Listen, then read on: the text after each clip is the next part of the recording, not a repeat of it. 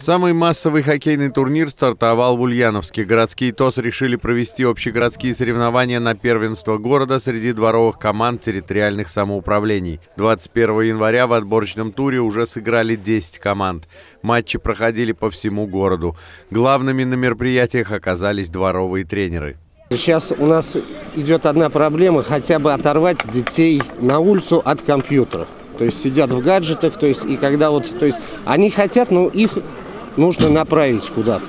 То есть вот этим мы и занимаемся, в принципе. Организуем различные соревнования, турниры, чтобы дети уже один вышел, посмотрел, уже оторвался от телефона. И, то есть и это плюс здоровье.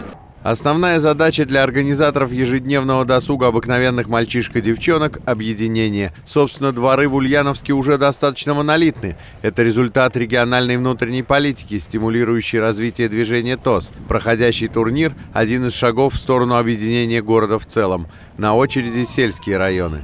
Мы начали с того, что э, включились в процесс э, развития дворового спорта на территории города Ульяновска, но в дальнейшем мы планируем и сейчас ведем переговоры об этом с Министерством э, физической культуры и спорта Ульяновской области, чтобы развить программу дворового спорта на территории всей области. То есть хотим, э, чтобы в каждом муниципальном образовании области дворовый спорт развивался. Народные инициативы захватили всех. Призы на эту игру предоставил депутат городской думы Алексей Рогов, за что его очень благодарят ребята из ТОСов «Мостовая Слобода» и на Дворцовой. Элитарности и профессионализма здесь нет, зато есть искреннее желание поиграть, помериться спортивной удачей, показать себя. Основной спортивный принцип – главное не победа, а участие – здесь основа всего.